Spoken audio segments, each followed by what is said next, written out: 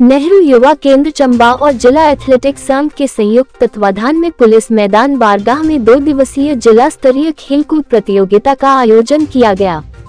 प्रतियोगिता के दौरान एथलेटिक्स के अलावा वॉलीबॉल व कबड्डी के मुकाबले करवाए गए। प्रतियोगिता के समापन मौके पर विजेता व उप विजेता प्रतिभागियों को पुरस्कार देकर सम्मानित भी किया गया। नेहरू युवा केंद्र के जिला युवा अधिकारी विवेक कुमार ने बताया कि इस दो दिवसीय खेल कूद प्रतियोगिता में जिला के विभिन्न विकास खंडों से खिलाड़ियों ने हिस्सा लिया। प्रतियोगिता में लड़कों का लड़कियों के अलग अलग वर्ग में मुकाबले करवाए गए।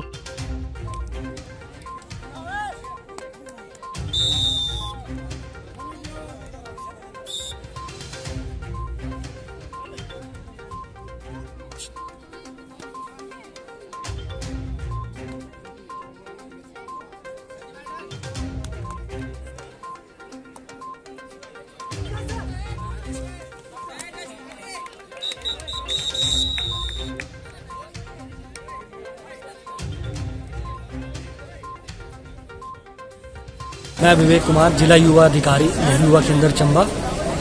आज नेहरू युवा केंद्र, चंबा के सौजन्य से पुलिस ग्राउंड बारगा में दो दिवसीय खेलकूद प्रतियोगिता का आयोजन किया गया।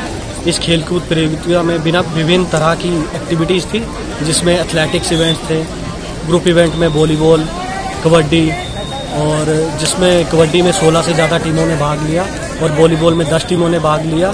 और मैं आपको आंकड़ा बताऊँ तो 200 से ज़्यादा युवा इस खेलकूद प्रतियोगिता में भाग ले चुके हैं। इसका शुभारंभ डीएसपी चंबा ने किया और इस खेलकूद प्रतियोगिता का उद्देश्य ये है कि हमारे जो युवा हैं, वो ज़्यादा मोबाइल में ना रहकर ग्राउंड में आए और फ़िज़िकल एक्टिविटीज़ में अपना योगदान दें और युवाओं को नशे से दूर रखने का भी ये एक अच्छा साधन है।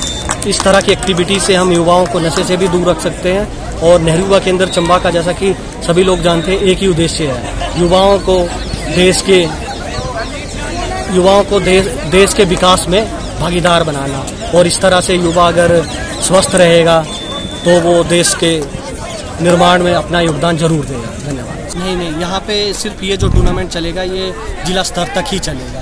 इसमें राज्य स्तर पर नहीं भेजेगा।